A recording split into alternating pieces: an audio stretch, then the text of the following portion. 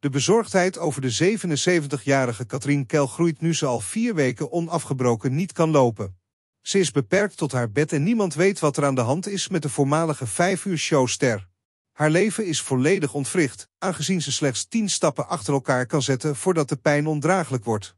In een recente update in de story onthult Katrien dat de situatie onveranderd is. Ze heeft de hoop gevestigd op de Bergman Kliniek voor een second opinie. Met geen kinderen om voor haar te zorgen, vertrouwt ze op de steun van vriendelijke buren en vrienden. Katrien hoopt op een spoedig herstel.